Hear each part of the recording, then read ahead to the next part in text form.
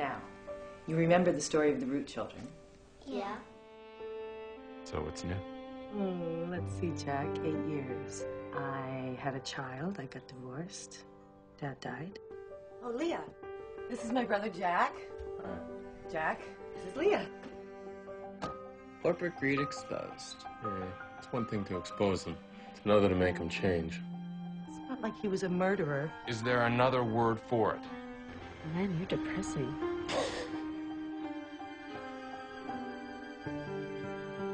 You want to rescue us from the first steady employment this town has had in 30 years. Hey, I'm just curious. Did Jack put you up to this? We are the eco defenders, you and me.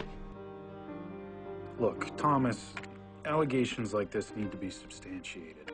Call me if you get something I can print. Thomas! You did it, didn't you? Dad's mine. You haven't heard from your Uncle Jack lately, have you?